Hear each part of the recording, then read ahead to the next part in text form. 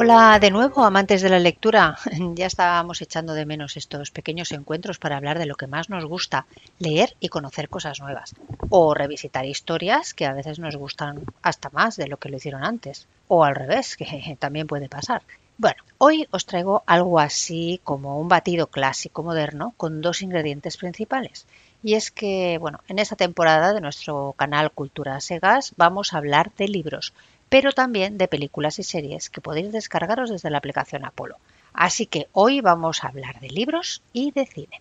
Bueno, ya sabéis que hay multitud de obras literarias que se han llevado a la gran pantalla o a la pequeña en formato serie, con mejor o con peor acierto, que bueno, esto también pasa, ¿eh?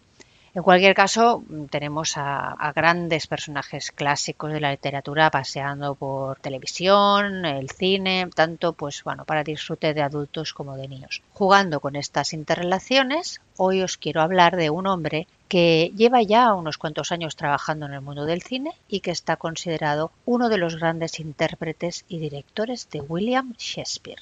¿Quién no conoce a este autor, no? aunque solo sea de referencias por sus obras emblemáticas. Bueno, no os penséis que os voy a lanzar ahora un rollo sobre el teatro de Shakespeare, aunque desde luego yo os recomiendo su lectura. Pero bueno, la verdad es que hoy he escogido a este poeta y dramaturgo para que me sirva de hilo conductor y hablar de lo que os comentaba, de cine y de literatura. De momento mm, me sirve de excusa para hablaros de este hombre al que me refería, un actor de origen irlandés, guionista, productor y director de cine que se llama Kenneth Branagh. No sé si lo conocéis, me imagino que algunos sí, otros quizás no. Bueno, eh, Kenneth Branagh eh, nació en Belfast, es hijo de una familia trabajadora y cuando tenía pues unos nueve años la familia se traslada a Inglaterra pues huyendo un poco de todo el conflicto que, estaba ocurriendo allí en Irlanda del Norte. Y cuando va a la escuela, para evitar que se rieran de él, eh, él se esforzó mucho por conseguir un acento inglés perfecto esto le sirvió luego más tarde porque, eh, bueno, cuando fue ya adolescente asistió a una representación teatral de Hamlet y eh, se enamoró del teatro. Se enamoró del teatro y de Shakespeare. Y también le ha dedicado años y ha estado trabajando a nivel teatral en muchas ocasiones y siempre vinculado a, a este autor inglés, a William Shakespeare. De él ha adaptado al cine pues varias de sus obras, como Enrique V, que fue con la que debutó como director, además de actor, y por la que también fue nominado a los Oscars eh, allá por el 89. Hamlet también eh, estuvo nominada, Mucho ruido y pocas nueces, o como gustéis, y en muchas de ellas trabajó con su entonces esposa Emma Thompson, una actriz que, bueno, pues también merece un espacio. Muy buenos actores los dos, la verdad, muy buenos.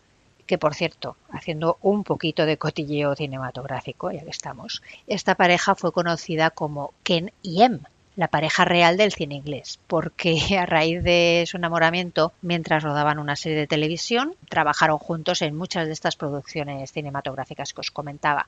Así que Ken y Em pues formaron un tándem muy bien avenido, tanto en lo personal como en lo profesional, hasta que se rompió y cada uno pues siguió su, su carrera por separado. Pero bueno, volvamos a la seriedad. Esta atracción de Kenneth Branagh por Shakespeare pues, le ha llevado incluso a interpretarlo a él en una película que se titula El último acto, una película que ha dirigido él y la ha protagonizado, como os decía, encarnando al dramaturgo y en el que bueno, rinde homenaje a esos últimos años en los que Shakespeare decide dejar el teatro. Bueno, los vínculos de este actor con la literatura no se acaban aquí. Dirigió y protagonizó la versión más fiel que hay a nivel cinematográfico del relato de Mary Shelley, Frankenstein, y para la pequeña pantalla pues encarnó al detective Kurt Wallander, el protagonista de las historias policíacas ambientadas en Suecia y escritas por Henning Mankell.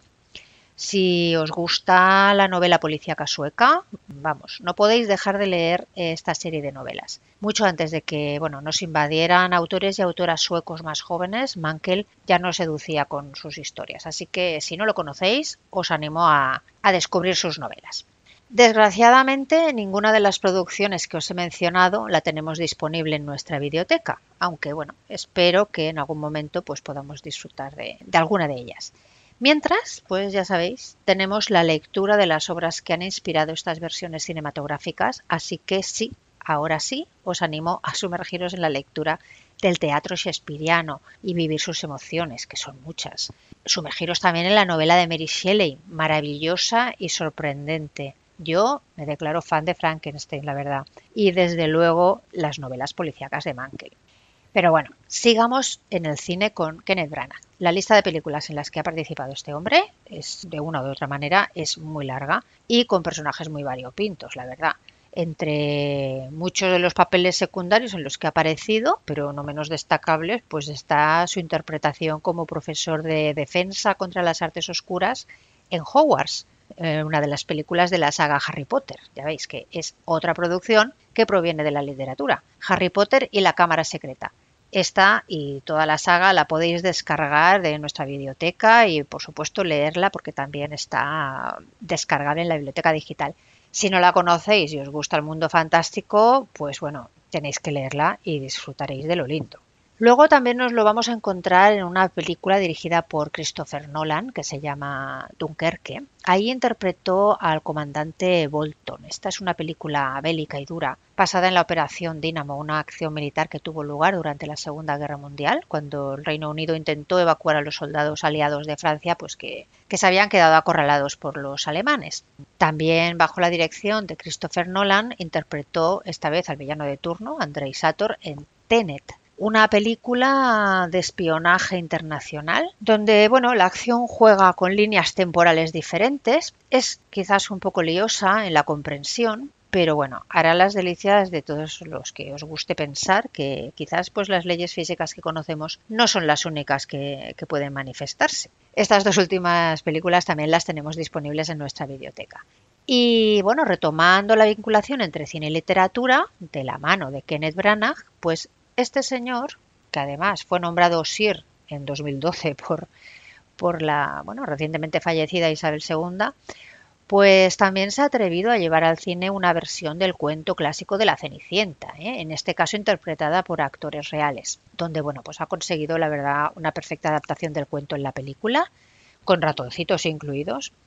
Y eh, bueno, es una película para disfrutar en familia y donde encontramos a una Kate Blanchett que está perfecta en el personaje de la malvada madrastra. Vamos, nos hace odiarla casi desde el minuto cero. Y bueno, ya vemos que a este señor pues le gusta cambiar de registros. Así que, mira, como director y actor, pues también ha adaptado y llevado a la gran pantalla dos clásicos de La Gran Dama del Crimen. ¿Quién? Agatha Christie. La primera Asesinato en el Orient Express, donde él interpreta al detective belga Hércules Poirot, dándole pues bueno, ese aire excéntrico que tiene el personaje y que está muy logrado. Quizás un tanto histriónico, pero bueno, esto es algo que Branagh suele imprimir a veces a sus personajes, en más de una ocasión lo ha hecho y bueno, hace que su interpretación pues sea diferente. Y este año ha estrenado Muerte en el Nilo, donde además de dirigir, pues vuelve a interpretar a Poirot, añadiéndole además ahora la historia que ya conocemos, unas pinceladas sobre la vida del detective que, bueno, desde luego se ha sacado de la manga, pero que le dan un toque diferente al personaje y lo hacen incluso un punto más humano. Los amantes del cine, pues bueno, es probable que se queden antes con la interpretación que hizo Peter Ustinov en la versión de esta película, en los años 70 creo que eran, donde allí también pues pudimos disfrutar de una Ben Davis que estaba espectacular.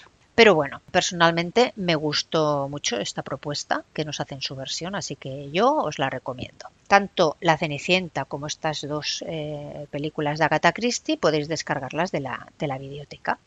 Y para acabar, pues quiero recomendaros un libro, un libro que podéis leer tanto en Daisy como en Braille y que se titula Hamnet de Maggie O'Farrell. ¿Qué tiene que ver esto ahora, pensaréis, no?